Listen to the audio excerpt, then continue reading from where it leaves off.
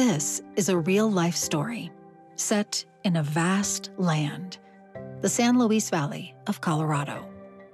It's a huge, flat prairie flanked by mountains and far off the beaten path. Add to that, to the mystery of seeing remote settlements while driving through and wondering who on earth would live out in the middle of such a vast space in a little tin can or a wooden lean to. I mean, the most basic shelters, and who would subject themselves to that and why? That's author Ted Conover talking about the questions he tried to answer in his new book, Cheap Land, Colorado. On this, Desideratum.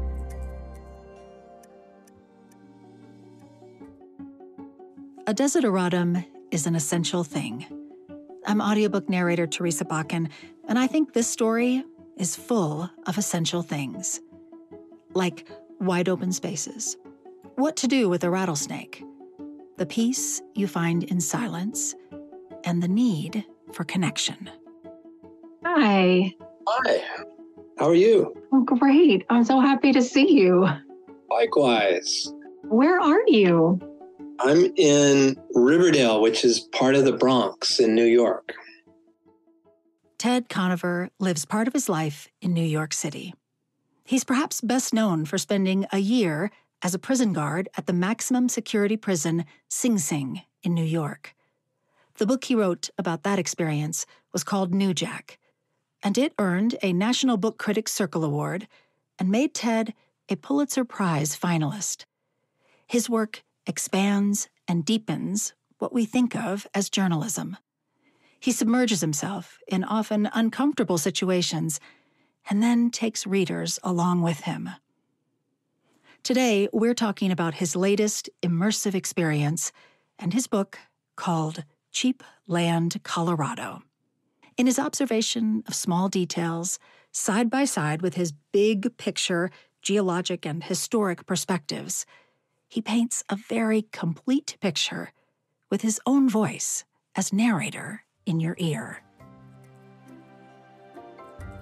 It's not hard to picture the indigenous people who carved images into rocks near the rivers, or the Hispanic people who established Colorado's oldest town, San Luis, and a still working system of communal irrigation in the southeastern corner, or a pioneer wagon train. Pronghorn antelope still roam, as do feral horses and the occasional mountain lion. It's also not hard to see a through line between the homesteaders of the 19th century and the people who move out there today. Okay, so that's where we're going to start our conversation with Ted, talking about the people on the prairie. Being there put me in mind of settlers who would endure all kinds of privation in hopes of finding, you know, land they could own or gold they could mine or a life for their family. That's that's a pretty resonant theme in american history. And when you're there you can feel it. You know a large number of them i think at this point are trying to get away. There's an escape. Exactly. It's a freedom from and a freedom to yep. Live the way you want to live exactly but also maybe fleeing from a horrible past yeah Absolutely. You can, I mean, that's been a theme in the American West for a long time, right? Getting away and starting fresh and trying to leave behind a previous version of yourself or a life you lived and starting fresh. So that all happens. And then this particular part of Colorado is one of the few places in the country where you actually, yeah, can buy five acres of land for not very much money. And that's definitive in a way. You know, that's why I called my book Cheap Land Colorado because it's cheap.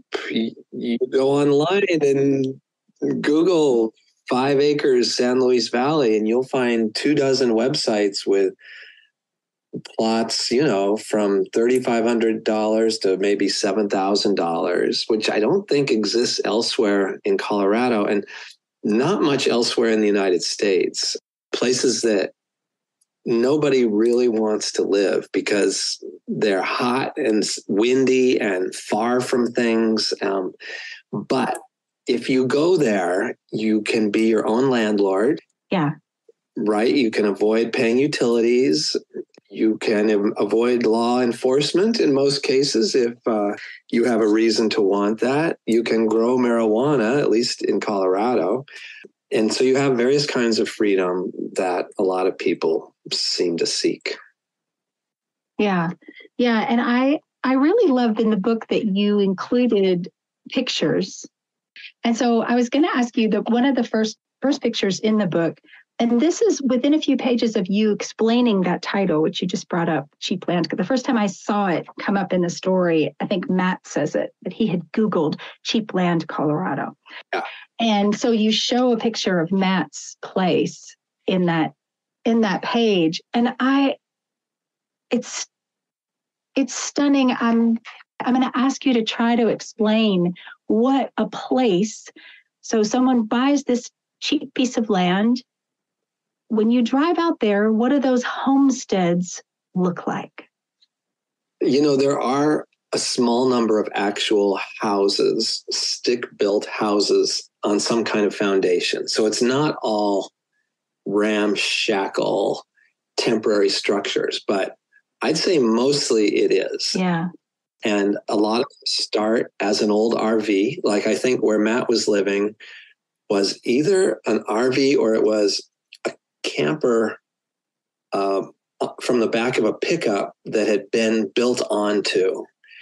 And so it's just a shell, really. And, or maybe it's a larger trailer.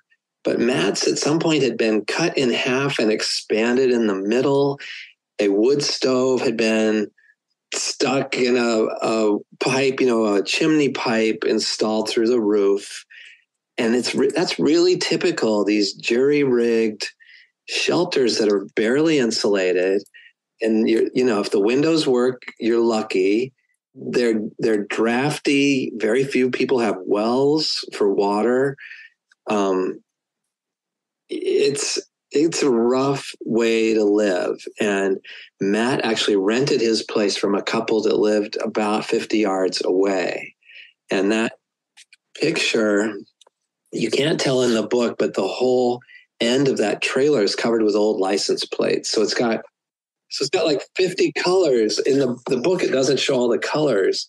Yes, but you can tell there are license plates all over the edge of it. It it, it lends itself to this sort of um, it looks nomadic right right like it just uh, it feels like um feels nomadic. It feels like it's been plopped down there. The other thing that's in that photo is you can see the majesty of the mountains. You see the peaks with snow on them and you see them rising out of this flat land. Right. Uh, and and yet this looks so rustic so um it doesn't look survivable really. Yeah. Uh, it doesn't look like you could you could make it like a human being would be too frail to survive a winter in that small structure without any insulation. And i guess you know that gets me to what what you did while you were there or what organization that you tapped into while you were there is this la puente la puente rural outreach yeah. um, that is tasked with with connecting with these people and find and making sure they're not freezing to death right? Right. That in a in a word that's their goal is to keep people alive. Yeah. And they they started i think with the deaths of some homeless people in alamosa the biggest town in the valley um, which you know is sort of famously cold in the winter. And uh, there was a nun and some other concerned citizens who thought you know we this shouldn't be happening. It would not be too hard to start something that give people without a place to sleep a place indoors to sleep. So that was the beginning of La Puente, uh, and it has grown over the years in various ways. It has a food bank and a program for kids from troubled families and all kinds of great stuff. Uh, and they had just started this rural outreach program, and the whole idea was with more people moving out off grid, you know, solar panels are getting cheaper. And cell phones let people feel connected to the world, even though they live out there. And people were moving out when it was warm and then having to bail when it got cold because if you haven't really focused on the challenges of off grid life, you could make some bad mistakes. And if you've got, if you yourself are frail, or if you have a child or a, you know, a partner who's not healthy, you're not going to do well out there in many cases. And so they thought, well, let's help some of these folks before they show up at our homeless shelter. Let's see if we could help them get firewood, like through um, uh, the Public Utility Commission in Colorado has this whole fund to provide firewood or propane to people of low income. So help them apply, um, help them get food if they run out, or prescriptions if they don't have gas money and they need their insulin, or yeah, just a lifeline, just a small thin lifeline. Mm-hmm. Yeah, little things. If people hit a rough patch, you know, until their next check comes, they're they're stuck. Well, give them a hand. So um, I'd heard about this from my sister who worked for a foundation in Denver that was thinking of giving money to La Puente. And she said, This kind of sounds up your alley. So I paid a visit and met Matt, who you mentioned. Uh, he was the rural outreach worker for La Puente, which is kind of crazy because his territory is like the size of New Jersey. And it's one guy with an old Ford Ranger pickup truck. And I said, Well, Matt, do you think you could use a hand? Could I volunteer to help you? Would you like that? He said, Oh, that'd be great. So then I asked La Puente, how they felt and how they would feel if I wrote about it. And um, they asked me a few questions, as they should. And I explained that anybody I write about, it's not going to be a secret. I'm going to say I'm a volunteer for La Puente, but I'm a writer. I'm here because I think people would be pretty interested in how you do it. How do you get by, and why did you make this choice? And so, uh, you know, it'd be like my second visit. I'd say, when I come back, could I interview you? And occasionally people say no um, because you meet people who are kind of skeptical, shall we say, out there. I mean, there's a lot of people who don't trust journalists, they don't trust city people. I mean, much less a New Yorker. that was like such a burden to have to explain. Yeah, what are you doing here? What are you doing here? Yeah, skeptical afraid, really, sort of things born of fear, too, you know. Totally. That's totally it. But, you know, there I am.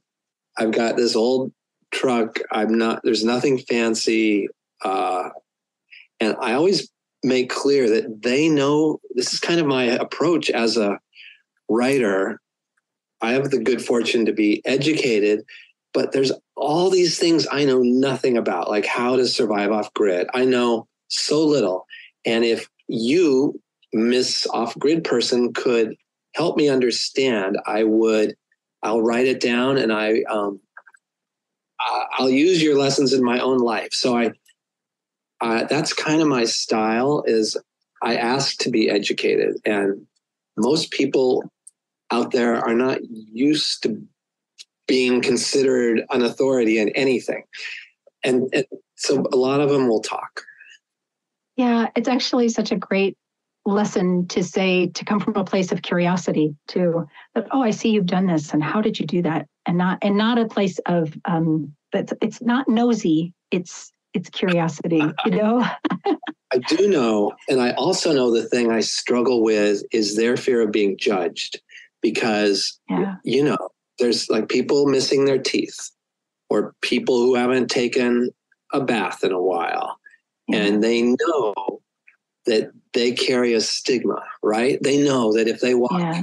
into McDonald's, people might look at them or have an opinion about them. Mm-hmm. And so I have to make clear I am not here to judge you, I'm here to learn. And um, that's a kind of important step, and it's not automatic. And you find that you bring prejudices unconsciously, right? like the whole teeth thing, it's hard not to think, why haven't you fixed your teeth? why don't you have dentures? You're only 30 years old. Or like Stacy, the mom of the family I rented from from a, for a while, she asks me, "You're probably wondering about my teeth," and she says, "I want you to know it's not from meth." And so that's you know that's an association people know you might make, and they want to head it off. And um, yeah, there's so many issues like that. We we we carry a lot of judgments and stereotypes, and um, becoming conscious of them is is a big part of doing this kind of work. Yes, I would I would say that reading this, it's clear to me that you come you came to the place with a sense of uh, awe and respect for the hardship of it and curiosity. And also, I think because of the connection to La Puente, the this idea that that we're stronger together or that we lift each other up that's it exactly. I think you said you worked as a journalist. And and so you know that traditionally journalists are not supposed to get involved. Yes. Right? You're not supposed to join the group to report the story. You your power comes from your independence. But seems to me if you're reporting about people who are struggling, there is nothing wrong with lending a hand. And in fact, it would feel bad not to.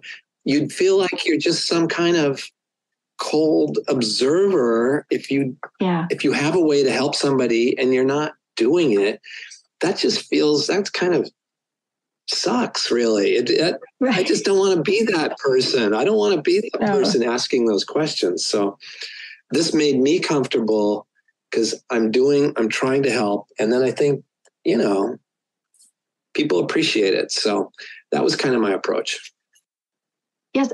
One of the things I love that happens to you through this story, because you are also kind of a character in this book. Right. This is right. an immersive experience. You uh, you share with the reader your experience, not just the people that you are meeting along the way. And you start off and you're renting, you're just a a few yards from the family that you're renting from and you're sort of immersed in their family life and what's going on with them. But you come to a point where you kind of double down and you're like you know i think i'm actually going to go all in on this. And buy my own piece of cheap land colorado. Yeah so it just seemed like a natural progression. Like here i am i'm a renter and I wasn't actually the only uh, renter on that property, as you know, I'm just a few yards away from a couple that has arguments and um, they like to drink. And I'm thinking, I'm back in the Bronx or something. I'm I'm in a place where people come because they can own their own land. So maybe I should just do that and uh, enjoy the quiet. And so it wasn't for a couple years though that I I did that because because all lots are not the same, right? Right. I was looking for something in specific. So I was looking for a lot that would be near somebody I knew and trusted so that if I have a little trailer there, there the odds improve that it won't be gone when I return because that happens out there. Things that are not tied down and even things that are tied down disappear. Yeah, there was a story about like the the actual like axles get removed from one like the thing is turned upside down and the axles are removed while the person's gone. And so yeah you definitely your safety is dependent on others. Yeah. And that was and it that was also a surprise to me. I guess i didn't expect that this remote lifestyle the people that chose that would then be sort of connective tissue with each other.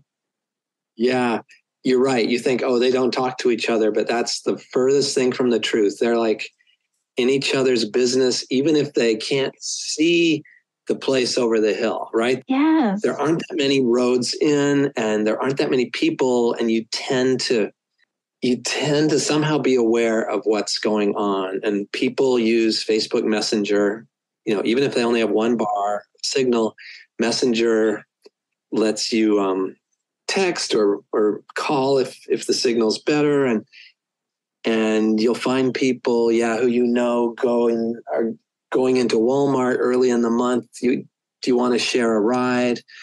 Uh, you know, could you buy me some dog food? Um, there are benefits to having neighbors. So anyway, I waited till I found a piece of land that seemed right, and then um, went for it. And I still own it.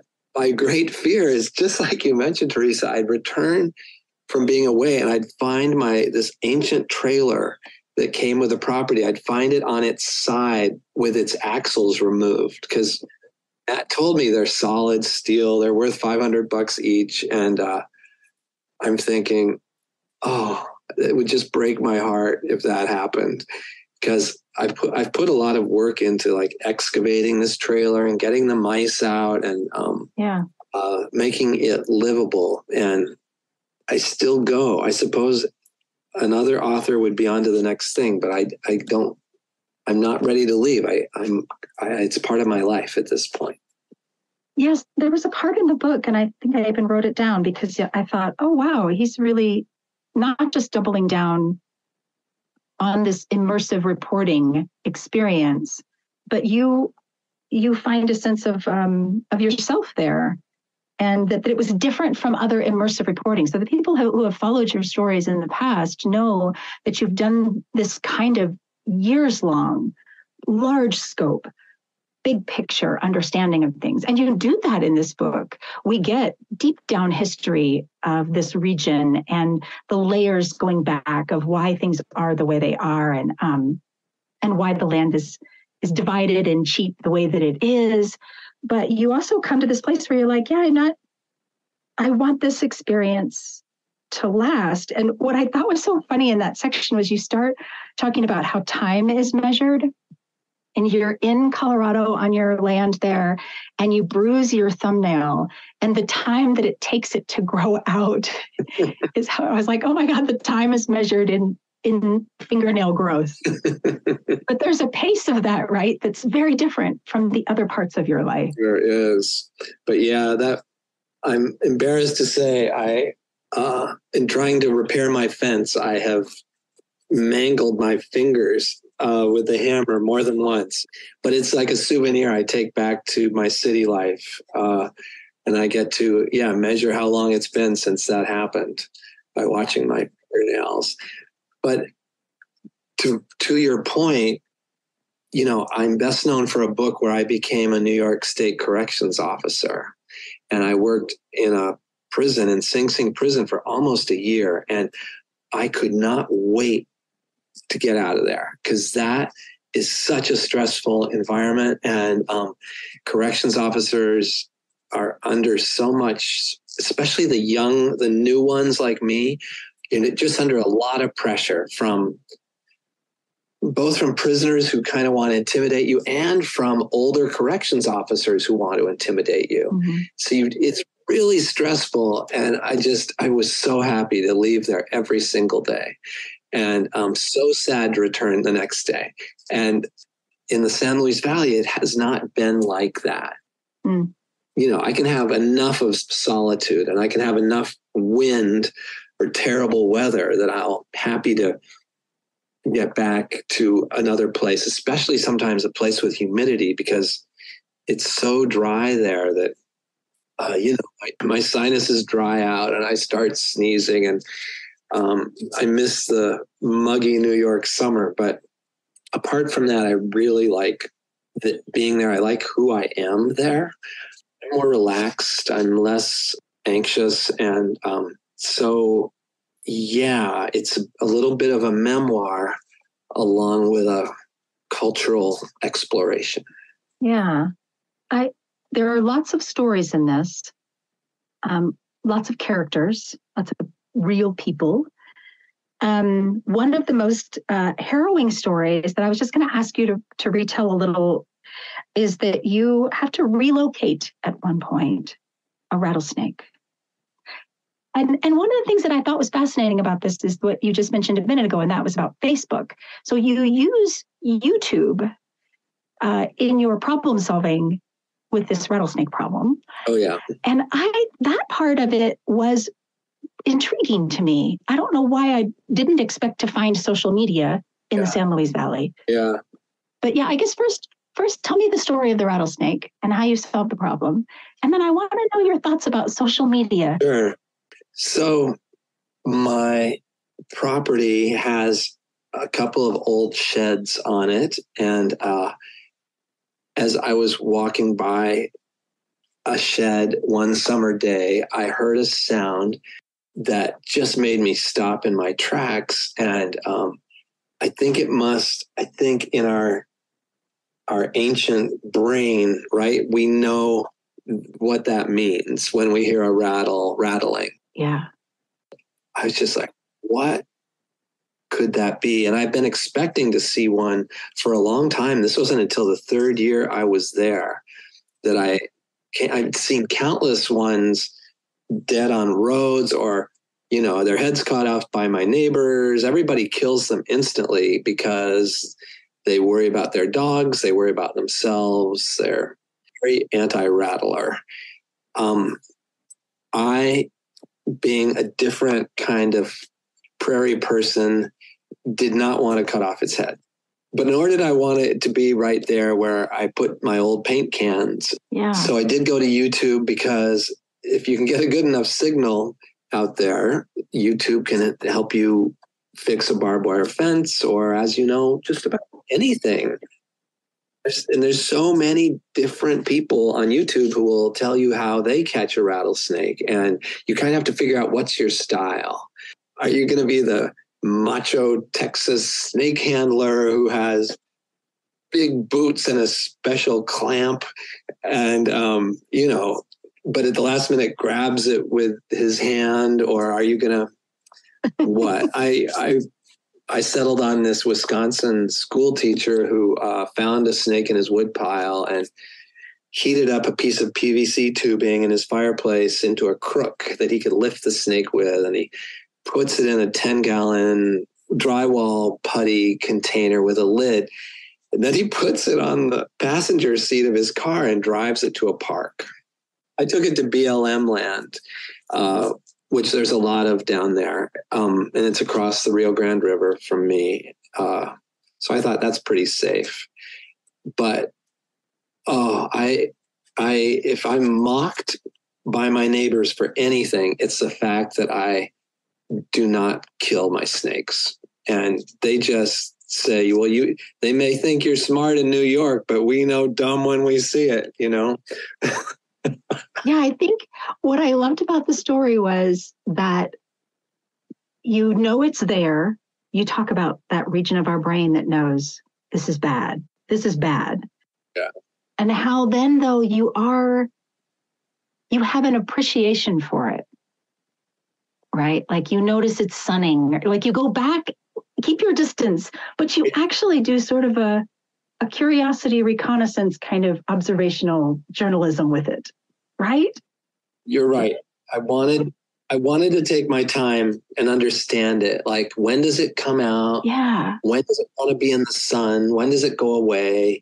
And it would clearly go away into a hole under my shed. You could see, and the first time it saw me, it rattled its rattle for, I don't know, a couple minutes, and then it slithered back under the shed. So it doesn't want to fight, right? It's not looking to tangle with It's not aggressive. No. no, it's not. And so, hey, live and let live, right? I don't have a dachshund who's going to get bit by this thing, and I don't have a child. If I did, I'd, I'd feel differently. Right. I'm just, I'm just a guy who should be able to look where he's going, and And we should be able to live and let live. I think so. I think so. I thought it was a great example of that. And I thought the idea that you went on YouTube and that there were multiple options, like you said, there were many different ways to deal with a rattlesnake. and you found one that suited you best. And it had to do with uh, creating sort of a shepherd's hook out of PVC and relocating said dangerous beast. And that felt right. That felt like the right thing to do. But at the same time, I was also just thinking, oh, I just don't know if I could have, how terrified I would have been to in the process of it. Like I, I, this is a tangent, but my son and I decided to do honeybee keeping, oh. and uh, we watched YouTube videos, and we went to a club, and we learned everything we had to learn, and then we we got the nucleus of a colony in our the back of our pickup and brought it to our property, and we had to set it up.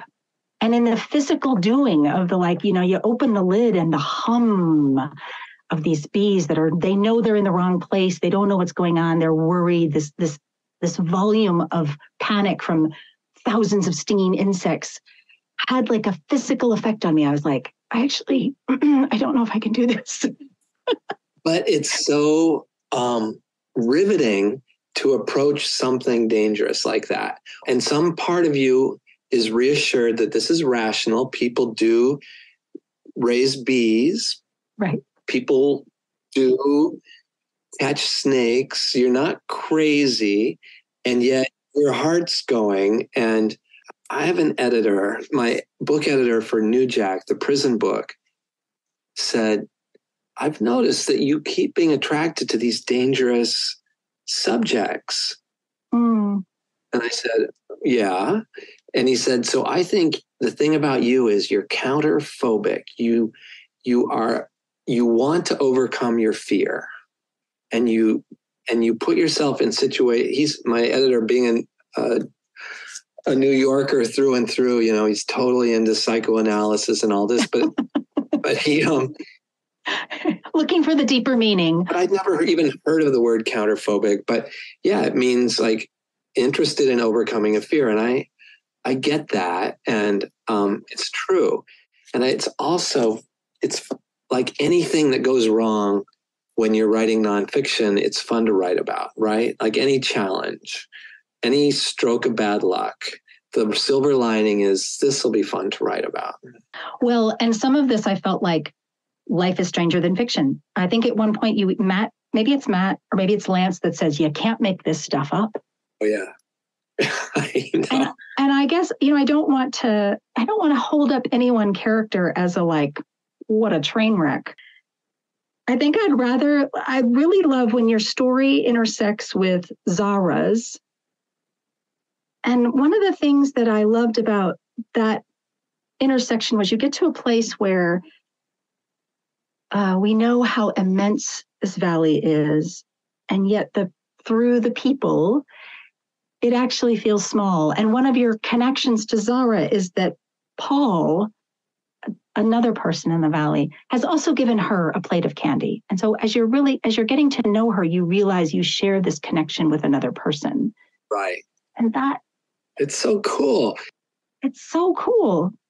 Zara's a single mom with four or five kids from Chicago. She worked as a housekeeper in a hotel. She had an abusive husband. She bails. She rents a car from Enterprise and shows up on the prairie at a half built house with this guy. He's part of a movement to build a new community of Africans in the diaspora, and she's all into Black Power, and but he's not a good guy either. Yeah, and and so her neighbors, who are mostly white people, end up being really helpful to her as she extracts herself and finds a place to hide from him. And Paul who, as you recall, um, introduced himself to me by saying, Yes, my name's Paul and I'm gay. I just said, Wow, okay, let's get it out there. Um, he says, You've got to meet her. He helped me set up an interview. And then, yeah, when she describes how Paul shows up at her at her shack with this paper plate and Christmas cookies underneath a wrapper with that curly ribbon tying it. I'm like, oh my God, that's what he brought me. And yeah. so, yeah, you feel this kinship with people from another universe, basically, because you're just spending time in the same space being human together. And um, so I love that stuff. I love seeing unexpected things in common and um, and just seeing people who are admirable where you least expect it, right? Like somebody determined to make herself a better life and um, willing to really go through so much on on the way to that So not only, yeah, does she go into the this area of white people with all these very pro-African views, very strong political views, but then she moves into Alamosa months later. She's the Colorado representative of the new Black Panther Party. She's got this tattoo of the African continent with yellow, red, and green stripes on it, uh, visible under her collarbone. And what does she do? She falls in love with a cowboy from Monte Vista who yeah who's smitten by her and it you know wants to help her tie her roller skate when she's at a roller derby practice in Salida yeah and now they're married. I mean, yeah, you can't make it up. And it's it's kind of a fantastic that um, that I live in the same world as them. yeah i enjoyed her i thought she could be her own book actually Totally, she could. She could probably write it herself. yeah and i think that paul is one of the people who threads through your time there and is kind of one of those connective tissue people and he like everyone else really doesn't fit a mold and i think that's that's something you sort of alluded to at the beginning about not judging things right like don't make a judgment that everyone here is x y and z right because there's paul and as soon as he meets you he says i'm paul and i'm gay and his own way of saying like i'm different than what you're expecting i'm not who you think i am Yeah, right I think that's that's right. and then for me, Paul becomes someone that helps you find meaning in this whole experience through being able to see Paul's humanity, but also to see his frailties. Um, and it also really points out the value of what La Puente does, which is, you know, Yeah, lifelines to people. yeah. Paul, Paul, he's quite open about being needy in certain ways and having fragile uh, emotional equilibrium, and uh, and he reaches out for help. You know, Yeah. yeah, he's doing well right now, but it's cyclical, and everybody knows this. All his neighbors and and even the conservative Mormons uh, uh, up the hill, who are his nearest neighbors, look out for him. Yeah. You know, they probably don't appreciate a lot of his uh, lifestyle or way of looking at the world, but it's sort of unexpectedly diverse and because of that, people who are unlike each other are kind of put in situations where they might have to deal with somebody quite unlike them, more than I do in New York, actually. Yes. So that's a surprise too.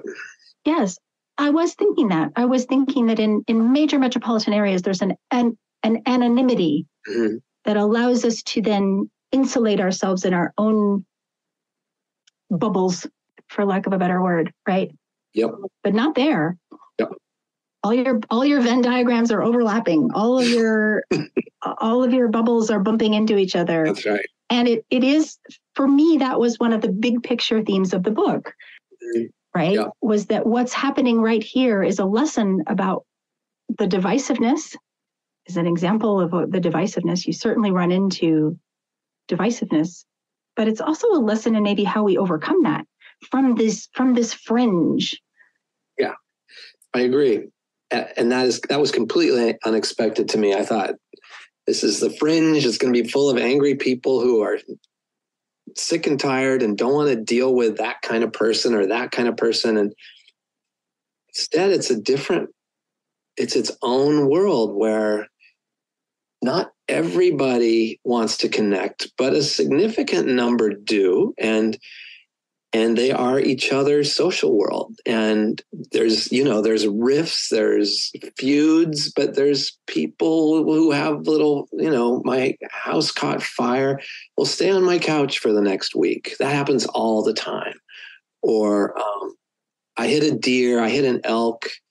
Uh, I'll drive you into town to, um, you know, or I'll take your kids to school, or, you know, people with kids, especially, I think, try to find ways to coordinate and look out for each other. And uh, so, yeah, uh, that was a surprise. my very first hint of it, back to the beginning of the book, is when I would be driving around, like making cold calls at these properties where I didn't even know if anyone was home. And, you know, out of five places I meet somebody will talk to me. And then the next day I meet somebody else and start to explain who I am. And they say, Oh, well, I, I know all about you. I know you you tried to knock on the door of that place that's been empty for three years. Like they'll tell you, you know, everybody in a place like that pays attention to the vehicles that drive by, and um, and mine was kind of distinctive. And so yeah, immediately you're you're known that way, and then the next day you're known because they're going to Google you. Yes, I did want to come back to that. That um, social media the prevalence of it there in some ways you you spotlight how this is a negative right that the the misinformation and the mistrust and the fears that can be stoked by a source like facebook because it's used as a source of information and then also as a place of grievances i think there was a part of the book where you're there during during parts of covid. And i think people have trusted you. You've been going there often enough now that you you sometimes will have an answer to something that they're like well I, I don't know about that. I'm really skeptical. I don't i don't know what to believe. And yet you're a trusted source right? But the other source they've had is facebook.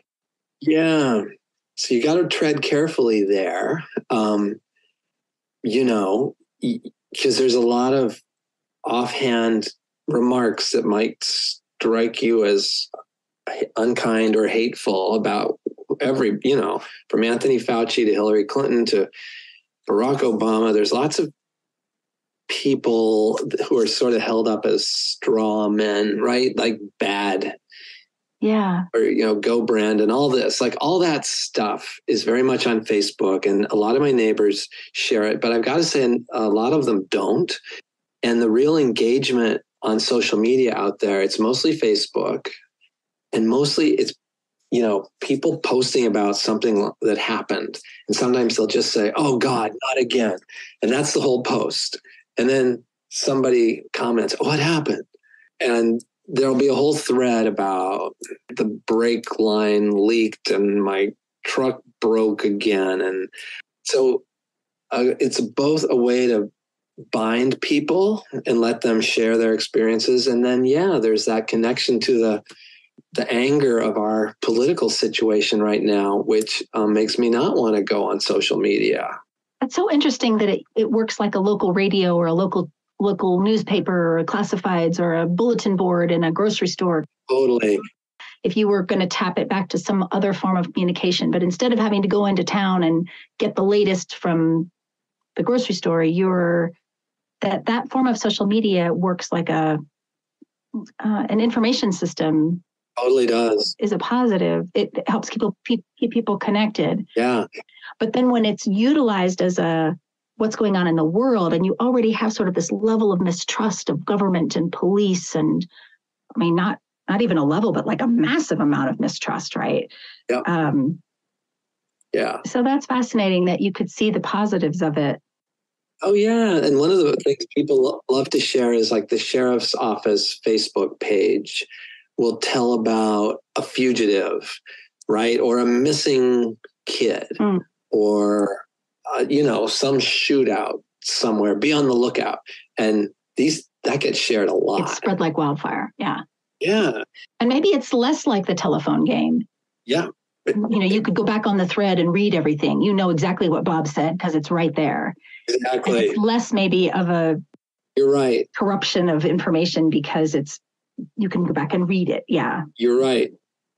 Well, if you compare it to telephone, that game where you pass on a message and see how distorted it gets by the fifth or sixth person, it's but it's better than that. And and yeah, it is amazing how smartphones and social media have made even these remote prairie dwellers, you know, I'll get messages. Have you seen that that duck in Central Park?